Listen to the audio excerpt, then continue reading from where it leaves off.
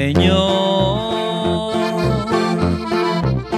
Tú que estás en el cielo y eres tan bueno, escúchame por favor, porque hoy me siento angustiado y desesperado por la situación. Señor, con el alma te pido que ruegos que te hago en mi oración. Ven, calma las tempestades que estamos pasando, te lo pido, mi Dios. Señor, tú eres nuestro refugio, eres nuestra esperanza y nuestra protección. Señor mío Jesucristo, detén esta tormenta, tú eres mi Salvador.